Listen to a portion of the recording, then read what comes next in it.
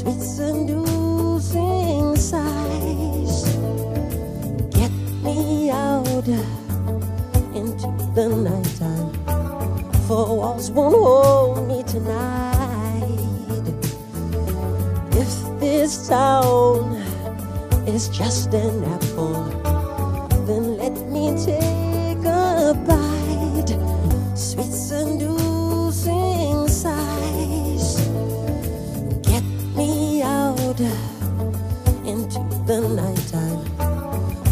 For won't hold me tonight. If this town is just an apple, then let me take a bite.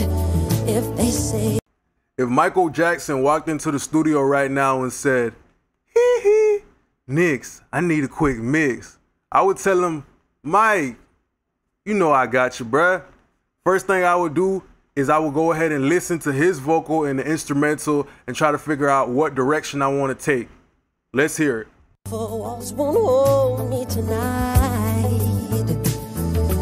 If this town is just an apple, then let me take a bite. If they say why, why, tell them that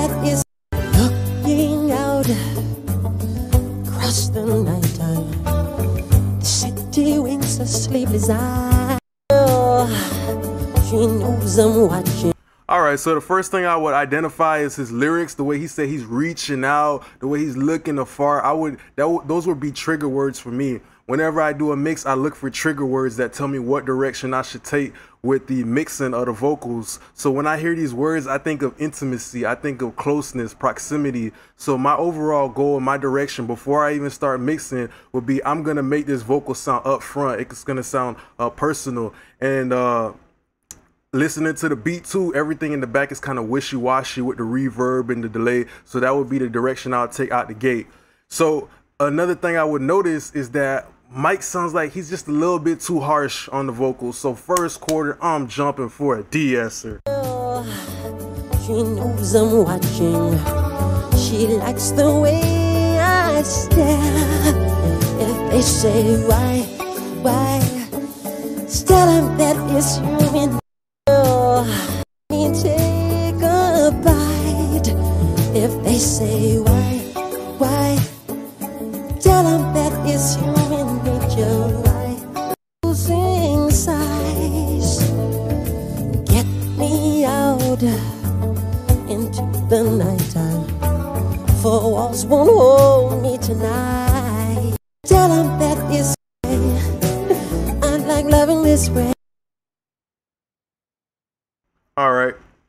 So at that point when I'm just hearing everything right now, I'm just feeling like I've got the high end kind of under control.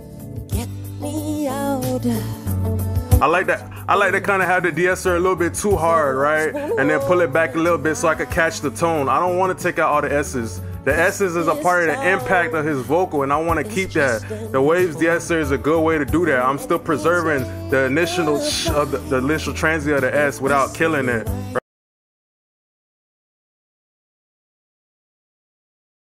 Why?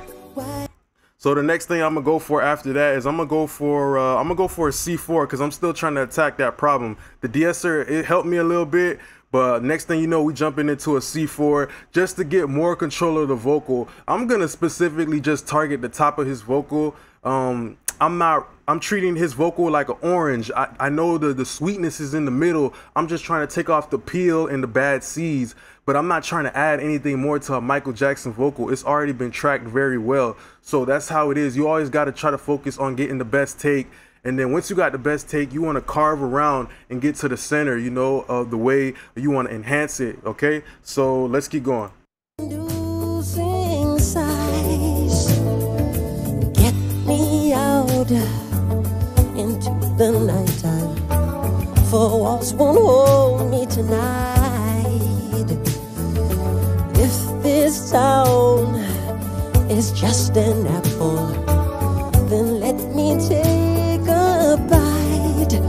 If they say why, why, tell them that it's human nature. Why, why, Does he do it that way? That girl, she knows I'm watching.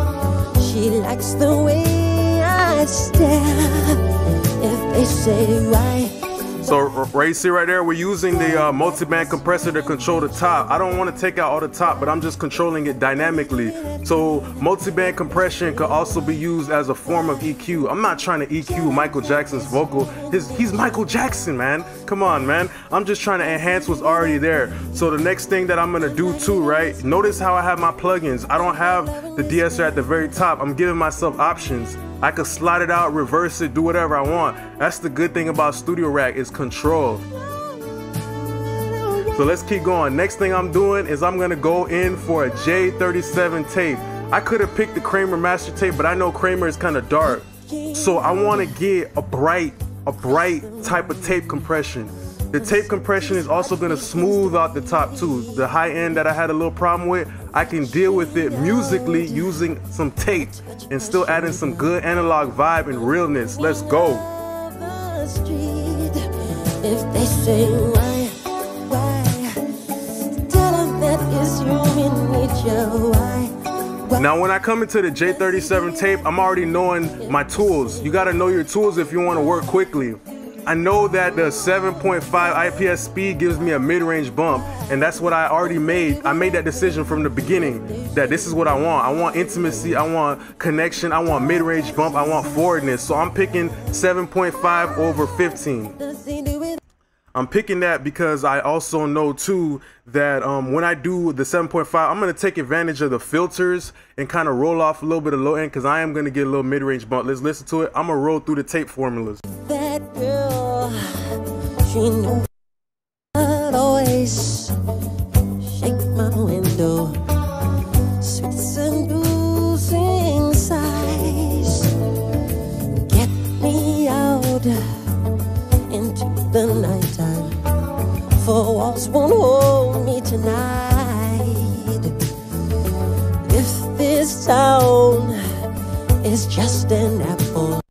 seeing the tape is giving us some juice, some sauce. It's just something that you can't really put your finger on necessarily, but we've already done a lot and we haven't had to use any type of boosting EQ or anything like that. We're just going off of what's already there. Sometimes that's got to be your mixing mindset. Don't be quick to run and pick an EQ and start boosting all that stuff. That means you're trying to add something that's not already there. And sometimes you just got to get the best take prior to even hitting your DAW, any plugins, and just get the best take so you have something to work with. It's already an orange that's fully ripe and you just taking off the peels. The sweetness is already in the middle with Michael Jackson's vocal. I'm just doing my own take and enhancing it. Next thing I'm doing is I'm jumping into some parallel compression, but in a little tricky way that Studio Rack does it. Let's let me show you real quick.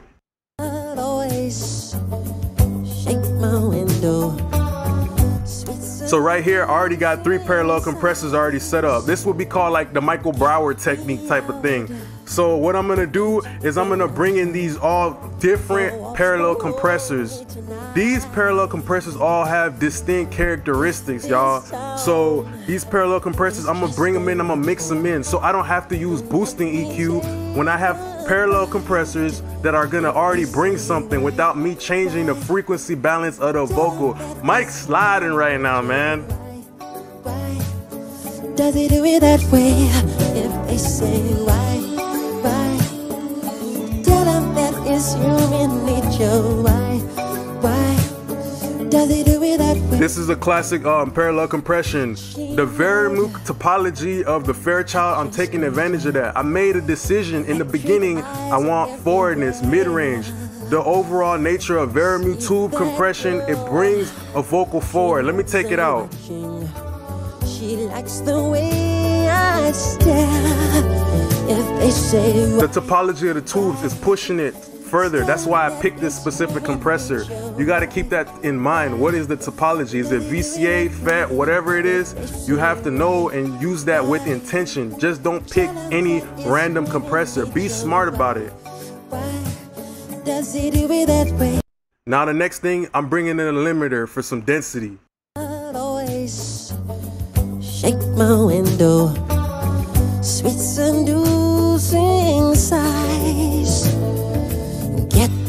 out into the nighttime. Four walls won't hold me tonight. If this town is just an apple. So we're not doing too much with the limiter, but for sure the limiter giving us some impact. It's giving us density that's helping cut through this very dense mix. Mix. It's a lot of feedback. It's a lot of reverb, and everything is kind of going on. I'm trying to keep the vocal in center with parallel compression. Parallel compression. That's a good way to keep the vocal dense in a spot right down the middle. And notice how on Studio Rack I have everything in mid mode right? So this is a stereo track, right? But when I come in the studio rack, I did my parallel split and I put all of my parallel compressors in mid mode because I want to keep it down the middle. Sometimes you might want to put it on the side. Sometimes you might want to put it on the left or the right. You have so many options with studio rack, but with intention, I know I need something down the middle that's going to give me intimacy. It's when somebody's talking to you in real life, it's forward like this, you know, one on one, you know, it's close. And that's what the parallel compression helped me do out the gate, remember I established that in the very beginning. So I'm making decisions based off of what I heard in the beginning, and I have a clear direction as to what I want to do with the mix. It's kind of like a painter. When a painter starts painting, he does broad strokes. That's what I'm trying to do, broad strokes. I'm getting my broad ideas off. In the first 10 minutes of me mixing a vocal, I'm looking to do broad strokes. The bigger, I'm looking at the bigger picture. No painter just comes up to the canvas and he's like, "Oh, let me put this little thing right here." Little, no, that's that's a waste of time, and you're gonna lose focus of the bigger picture when you focus about the small details. Think about the bigger picture, the overall, the final destination. Establish where you want to take this out the gate you know, listen to the lyrics, listen to the voice, listen to the beat. They all gonna tell you where they want to go, but you're the driver of the bus, and you gonna drive this song to where it's gotta be. Always shake my window. Then after that, you know, I'm bringing in a, a 11, 1176 for the action. The, just the the forwardness of the FET compression. I'm mixing it in. Four walls won't hold me tonight. If this town is just an apple, then let me take a bite. If they say why, why? So I'm gonna take the black over the bluey just because I know that the bluey is a certain transformer that's brighter, eyes wide open, and the blackie is more smooth. So I went between both of them and I made a decision. The bluey is gonna work better because this is a smooth song. Let's hear what it, what it, what it sounds like without the Brauerizing multiple parallel compression. Reaching out, uh, touch a stranger. Electric eyes are everywhere. See that girl, she knows I'm watching. She likes the way I stare. If they say why, why, tell them that it's human nature. Why, why, does he do it? Lastly, we're gonna go for probably uh, a EQ. We're going for the SSL E channel. We got two options: the E channel or the G channel. I already know the G channel is the darker version and the SSLE is the brighter version. I think that's gonna complement Mike's um, vocal too.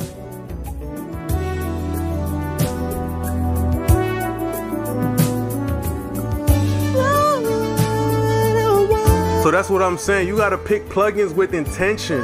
Like you gotta know where you're trying to take it. So when I'm before I even do any EQ, I'm not just gonna boost whatever. No, I'm listening to the vocal. I want more warmness, right? So I'm gonna go for a bell on the low filter.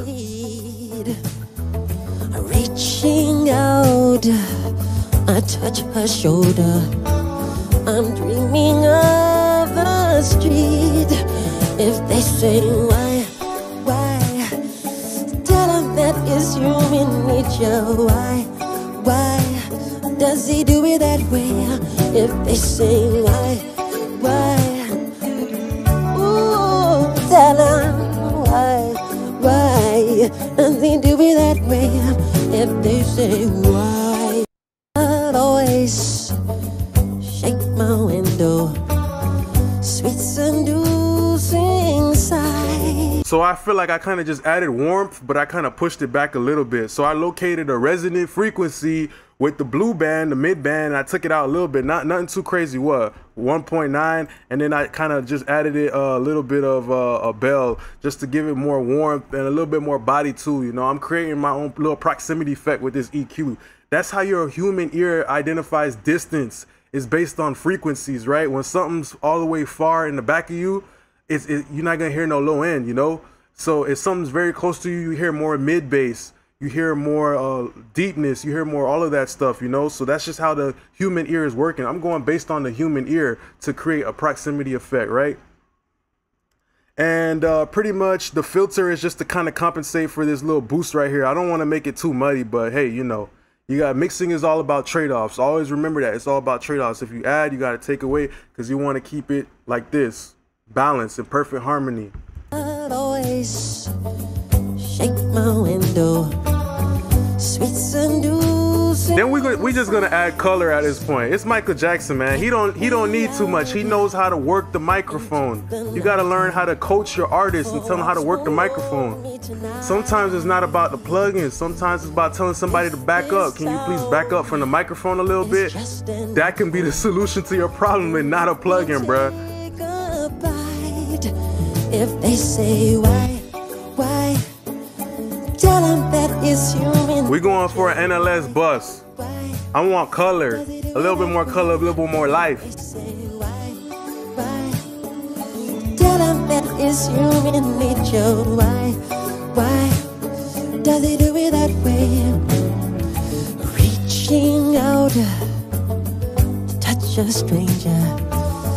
Electric eyes are everywhere see that girl.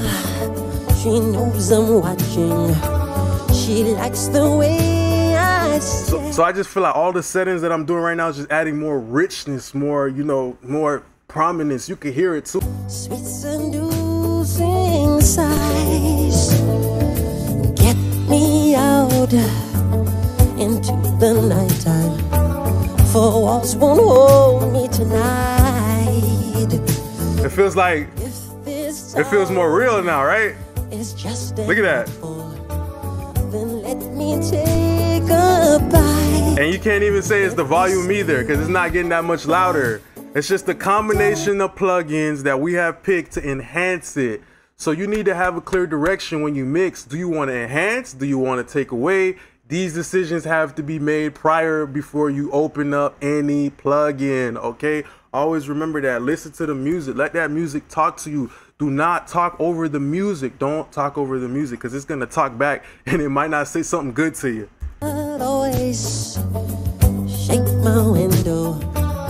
And then lastly, really, I'm just understanding that the, the listening to the beat, there's already a lot of feedback. It's already a lot of delay and reverb. I'm gonna let the beat do what it gotta do. But Mike look, looks like he needs a little bit of reverb, and I'm gonna make sure that my reverb is gonna be a short reverb time, just something to give a little bit of early reflection, a little bit space. But I'm not trying to go for a reverb. Once you have a bunch of big reverbs and the beat got to own reverb, then now the reverbs are fighting each other. They don't like each other, and they're all taking up space, and they're not letting one of them shine. So that's your mindset before you apply any reverb. I'm gonna run through the reverb first, then delay, saturation, and let's keep going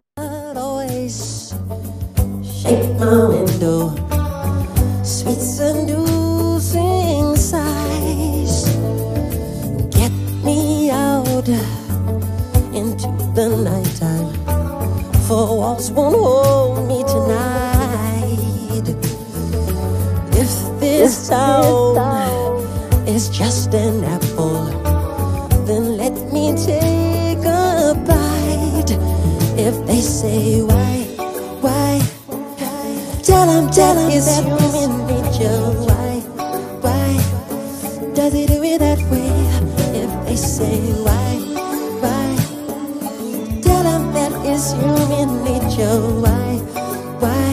I'm kind of offsetting the delays a little bit, creating space. I don't want it to be all perfect, you know? The human ear doesn't hear everything perfectly. You got to keep that in mind when you're mixing too. Make it more human.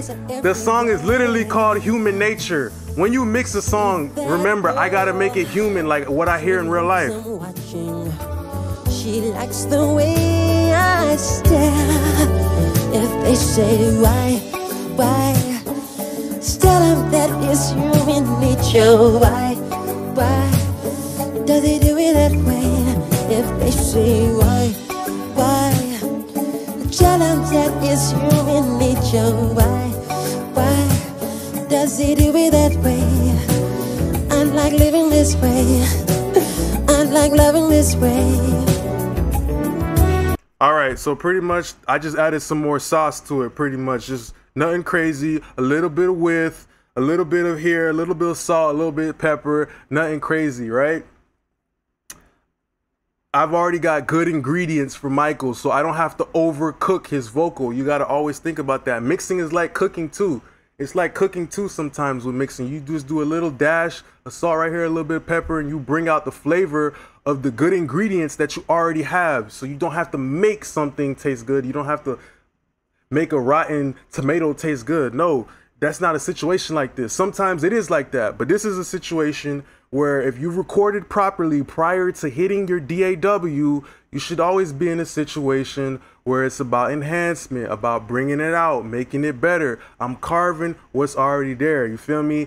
I, the orange is already here. I'm just taking off the peels. That's it.